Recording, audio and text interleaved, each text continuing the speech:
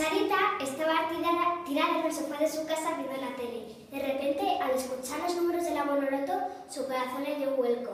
Era la única acertante del premio. Le habían tocado 10 millones de euros. Lo primero que hizo con su dinero fue comprarse varios modelos de Carolina Zapatos de Manolo Blahnik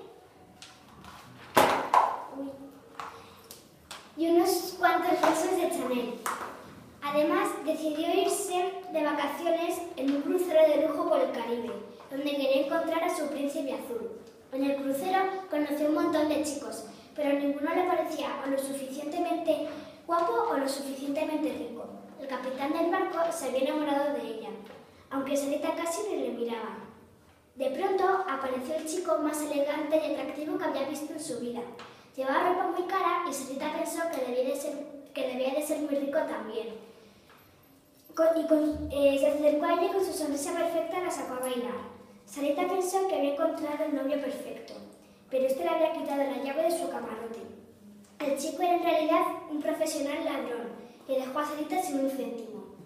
Cuando Sarita se dio cuenta, el chico se había esfumado con toda su fortuna y sin dejar rastro.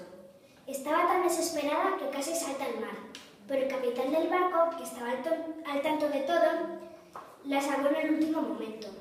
Entonces Sarita comprendió que lo importante es que te quieran por ti y no por tu dinero.